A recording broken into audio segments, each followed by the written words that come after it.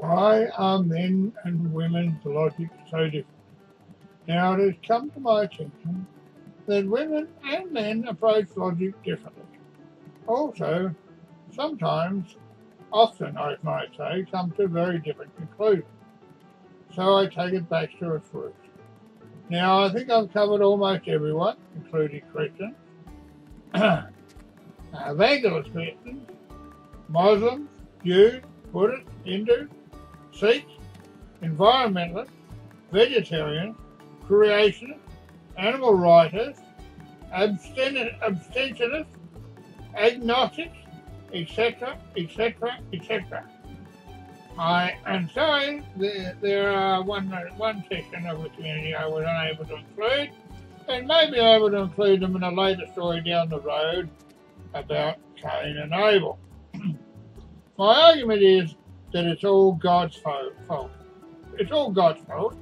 After all, He started all of this. Why are men's logic, women's logic so different? Why do men have a different understanding of the same problem? Well, it's all God's fault. That's right. You said he's, it is his fault. How can that be? Well, in the beginning, God created the world, populating it with plants, animals, to eat the plants and each other, and insects to bite them all. He created the fish of the sea to do the same, and finally birds of the air to eat the insects and other things as well, and looked down on them all, and he sat back pleased with his effort.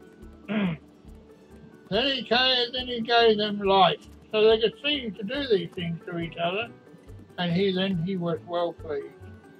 Then, then as he admired his handiwork, he said, I know, I'll do myself a favour, create a wonderful little creation of me.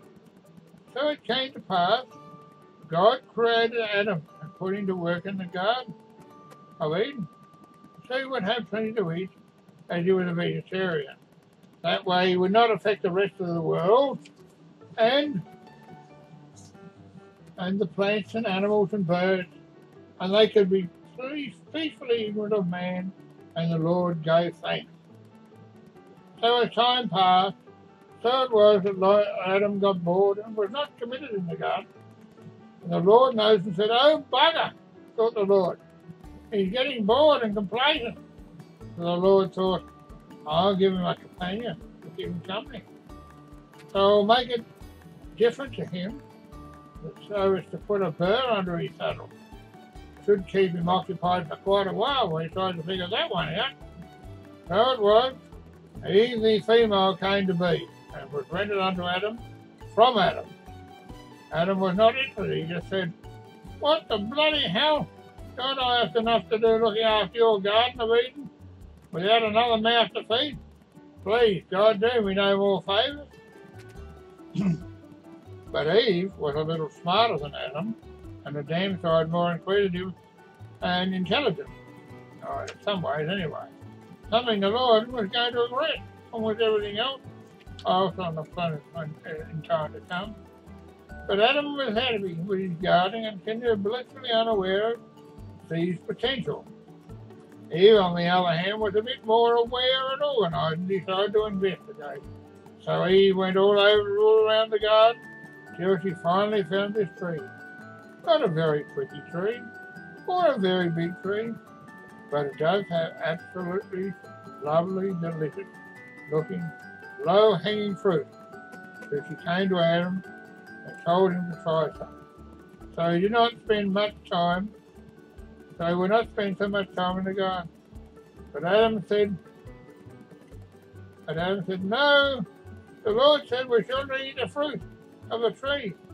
We'll be filled with the seeds of, the seeds of knowledge. And we all know what that means. Even said, he said, Where does it lead? Adam said, I don't know.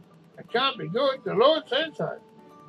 But even but Eve, Eve was not about to be put be put up.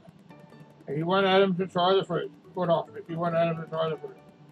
So he spent more time with her and not the bloody garden. So it was they tasted the fruit of the tree for the first time. and finding it absolutely delicious and enjoyable. Adam said to me, That's so good. Oh, why haven't we done that before? Can we do that again? The Lord looked down and was not well pleased, saying to himself, Oh, bugger, they've been at it. Couldn't they not just got a really good grip on themselves and had some self-control? They soon be many, and they will not, not just, they will just not obey my rules in the garden. They'll have knowledge and understanding. I will not tolerate this in my garden. They'll eat me out of the garden. I'll not have them live on my, my charity. I'll throw them out of the garden. So they were turned out. And Eve said, Oh, bugger, more work for me. I will have to do more organising and managing of everything. I will have to feed and raise the little ones as well. Adam said, What are the little ones? And he said, Oh, why could the Lord not be more generous? So it was. There soon lots of Adams and Eve popping up all over the planet, like plagues of rabbits, and all of the plants and the creatures and the birds cried out, wailing and gnashing of teeth, to the Lord, Please, please, please, Lord, could you not have had more mercy on all of us? So endeth the lesson.